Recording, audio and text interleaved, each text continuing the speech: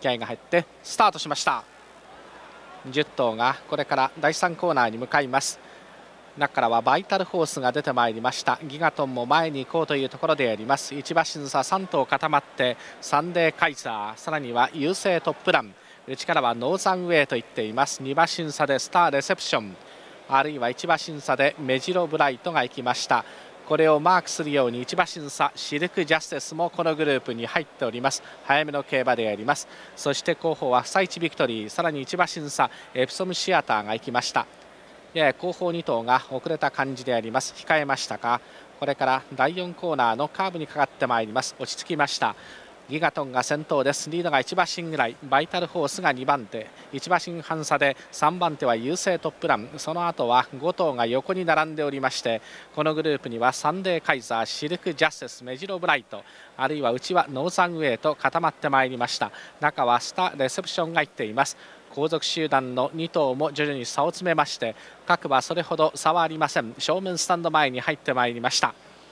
ギガトンのペースであります。リードが2馬身ぐらい。バイタルホース。内に入ったユーセイトップラン。外からはシルクジャスティス。そしてサンデーカイザーとこの辺りを抑えております。ノーザンウェイ。さらに遅れましてスターレセプション。内からはメジロブライト。後方からはエプソムシアター。サイチビクトリーが最高峰でありまして各馬は第1コーナーから第2コーナーに向かいます。ゆっくりとしたペースであります。先頭のギガトンのリードは2馬身で2コーナーから向こう上面に入りました。優勢トップランバイタルホースが並んで2番手3番手その後は1馬身半差中からはサンデーカイザーそして内はノーザンウェイ。外からはシルクジャスティスと言っています。その後に1馬身差でメジロブライト。さらに外からはスターレセプションが行きました。後方2頭も3馬身から4馬身差。エプソムシアター、フサイチビクトリー。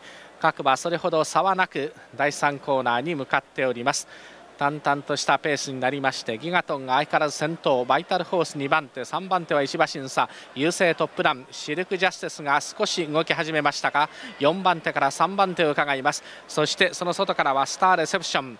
あるいは中をついたサンデーカイザー。メジロブライトもこれを見るような感じ。67番手であります。その後にはノーザンウェイが行きまして4コーナーのカーブエプソムシアター。最後方はフサイチビクトリーで4コーナーに近づいてまいりました。さあ中団こういうグループが固まってまいります。わずかにバイタルホースギガトン。バイタルホースギガトン。そしてシルクジャスティスさらにそのグループにはユーセイトップランが行きました。そしてメジロブライトは外に持ち出して現在4番手。前の争いからシルクジャスティス先頭だ。シルクジャスティス先頭。そして外からは懸命にメジロブライト突っ込んできた。メジロブライトあと200を通過。シルクジャスティスメジロブライト。シルクジャスティスメジロブライト。2頭のデッドヒート。わずかにわずかにシルクジャスティスか。しかしメジロブライトの伸び足もいい。ほとんど2頭並んでゴールびっしり競り合いましたゴール前。メジロブライトとシルクジャスティス。